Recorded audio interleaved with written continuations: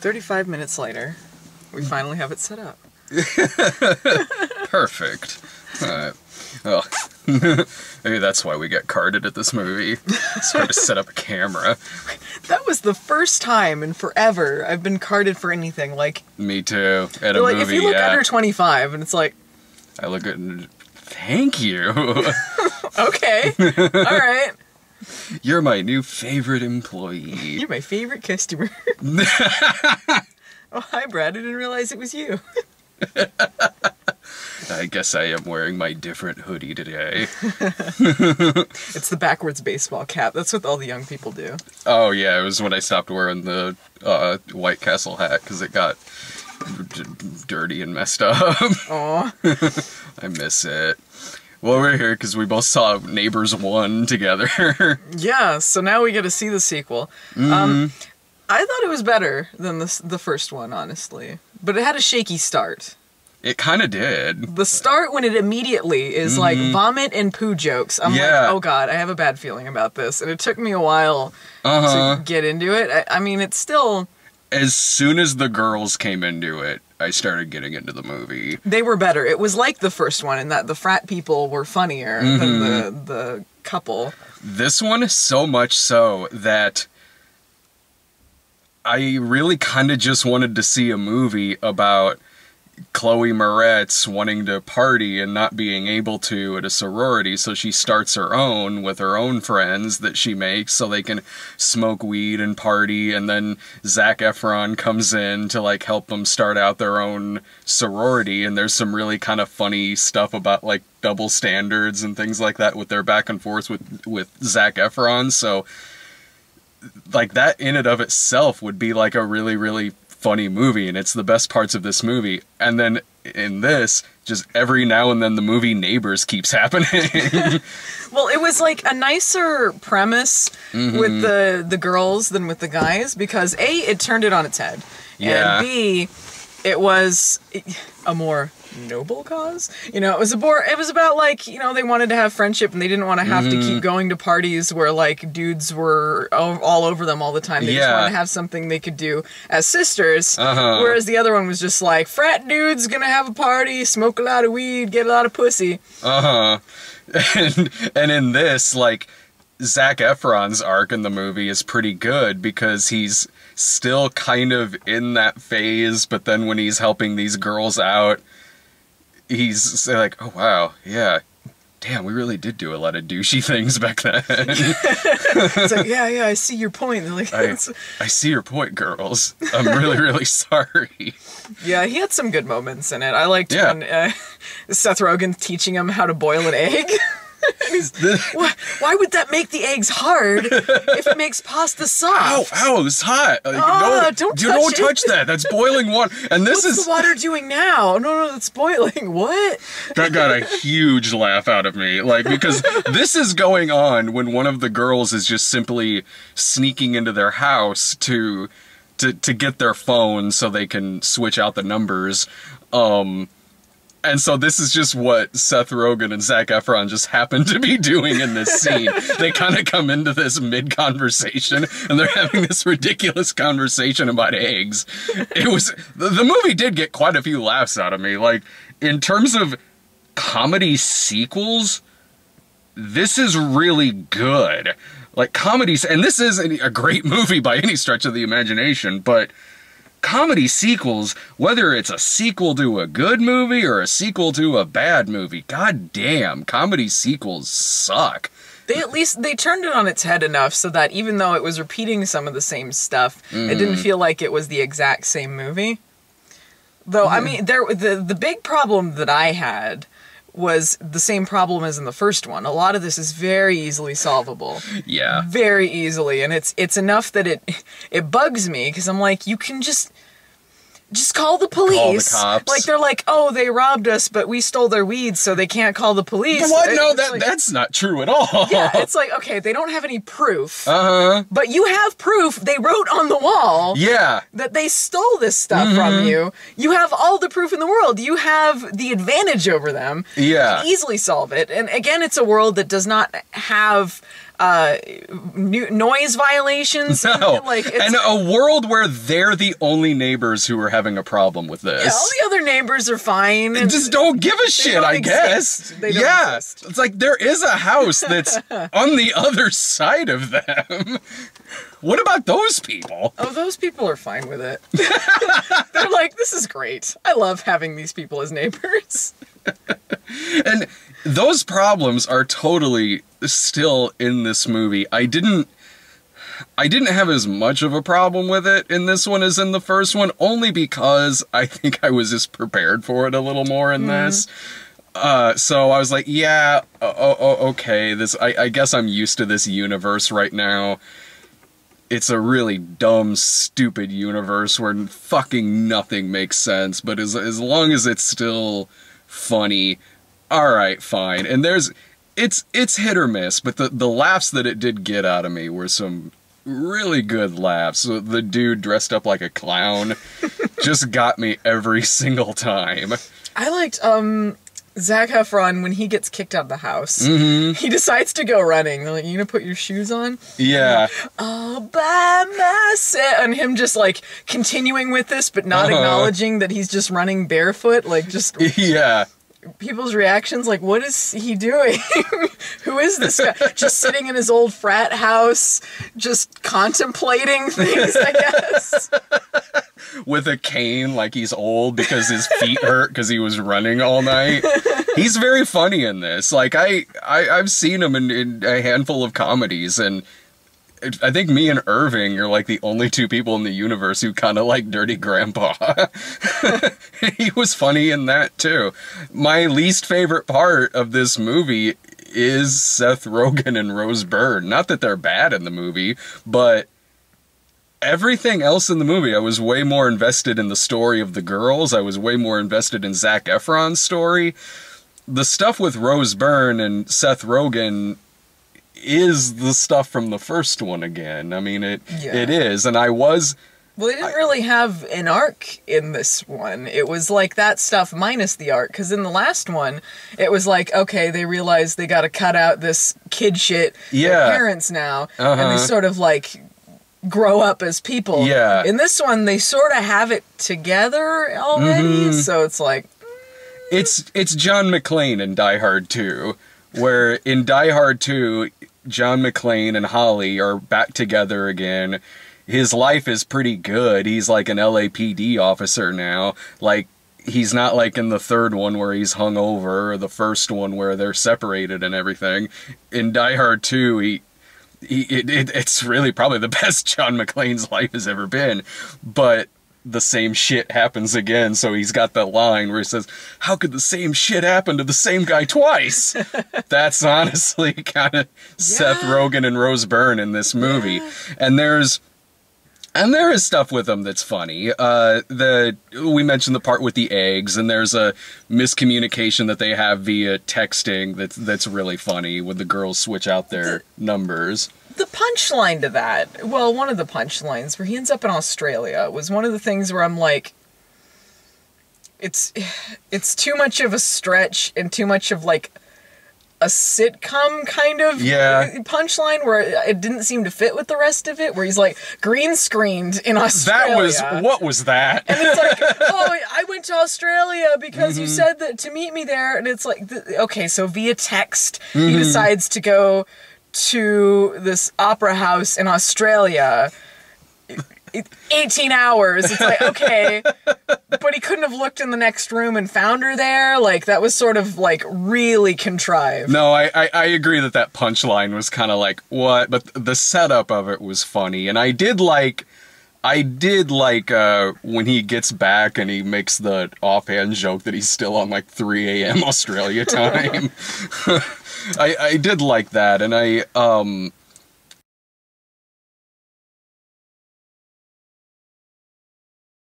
There's a like, like you said at the beginning of the movie where like it, it seemed like with them, whenever they were on screen, it was just kind of shticky.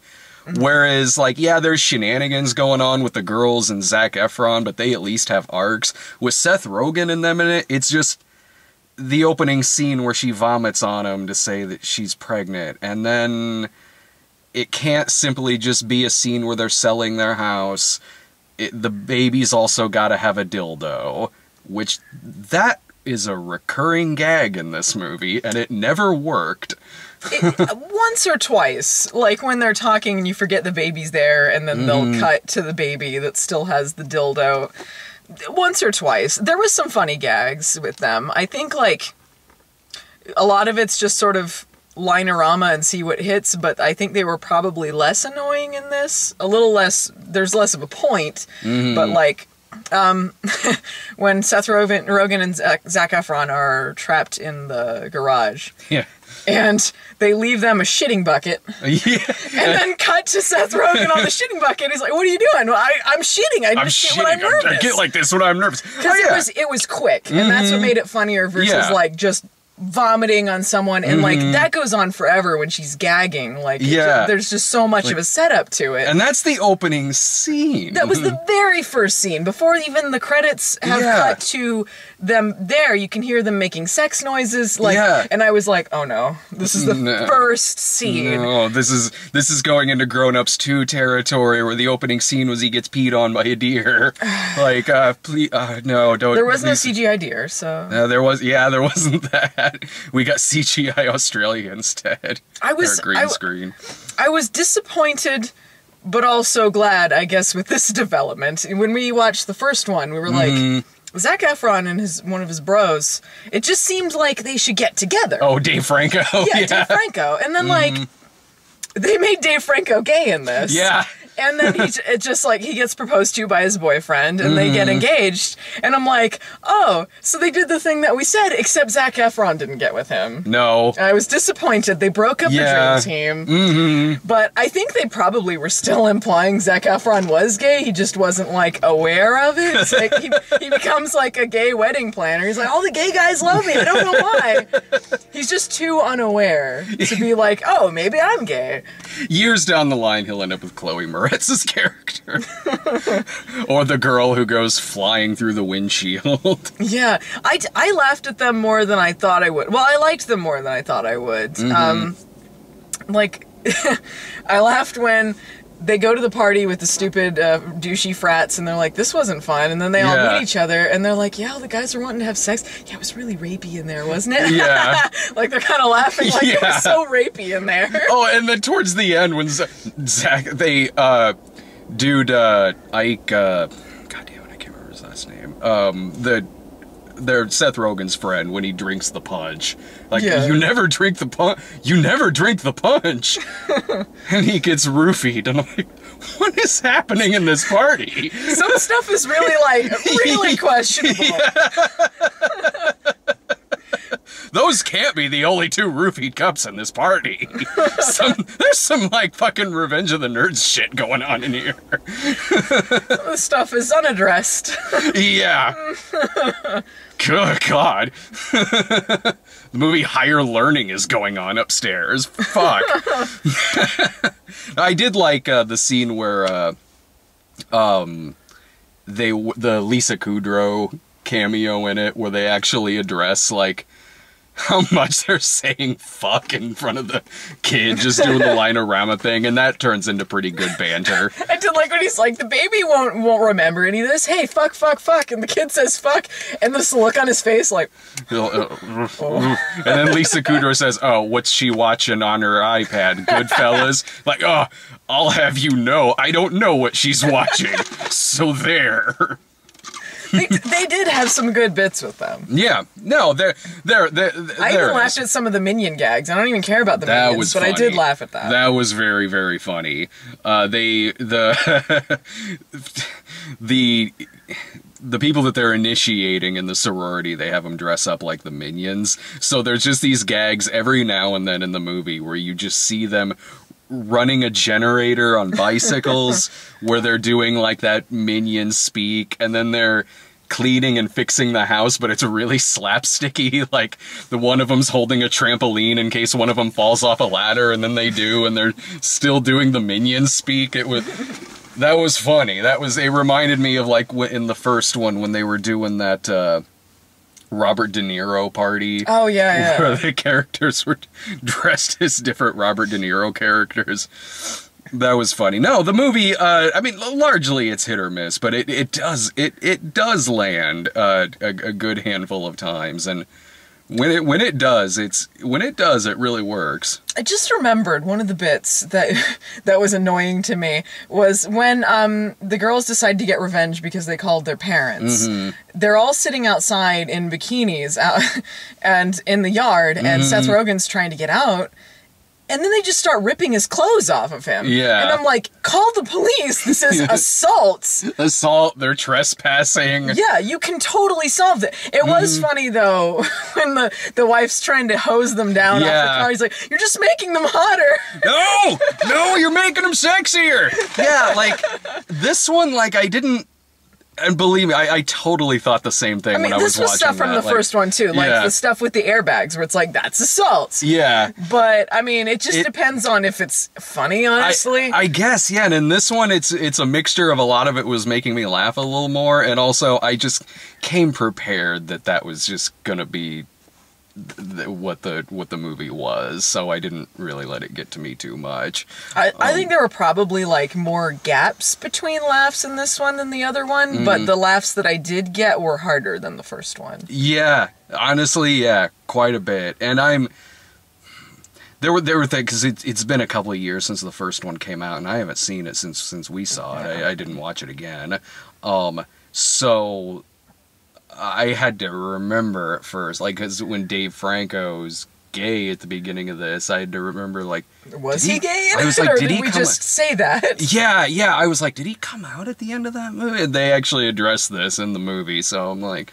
they address like him coming out later, like in between the two movies, because Zac Efron mentions that it was after they graduated college. Mm-hmm. Well, and and if you look at it like as an arc, like Zac Efron is in love with him, Mm-hmm. and then he gets with another guy, and he realizes he he lost him to someone else, and also you know is trying to find his his place in the world. Mm-hmm. They have bits that are basically saying that. He's like, You didn't tell me your biggest secret. You didn't Yeah. tell me about this. Or when he's like getting ready to get married and he's like talking about his fiance Yeah. like but it's him Mm-hmm. saying that he loves him basically so You're talking about you, aren't you? yeah, I am, bro. no, I, I, it's, it's, it's, it's an alright movie. Like, in, again, like, I'm hard pressed to think of the last comedy sequel that wasn't a gigantic piece of shit. Um, between Hot Tub Time Machine 2, uh, God, I don't even. I can't even remember. God damn, there are bad comedy sequels. Zoolander 2. Fuck. God, that was bad. Um, this one. Yeah, this one breaks the mold. It is not a bad comedy sequel. it's it's better than the first one i think both of them i'm good with seeing them once mm-hmm. but i thought that it was it was fun and it was more than i expected so it was it it was Mhm. funnier than i thought it would be it just like it took a little bit because the start was it was uh, misleading i think Yeah. We're going into sisters territory, are yeah we? i was so scared it was going to be sisters but it Yeah. was i it, it never felt like it was 10,000 hours long No. check my phone this movie's a solid 90 minutes like which is exactly what a movie like this should be. Not like fucking sisters that was a little over two hours long. Fuck. Uh, i would i would say that uh, if you're a huge fan of the first one then it would probably be worth it to you to to see it like maybe an afternoon show or something like that or sometime during the week. Uh, if you were kind of iffy on the first one then give it a rental uh, give it a rental or watch it on netflix or something but if you're if, if you really dug the first one you'll like this one too and it'll be worth it for you to see in the theater. It's a good sequel. Mm-hmm. Yeah. You ready to see angry birds? Also a good movie right? We will find out. Later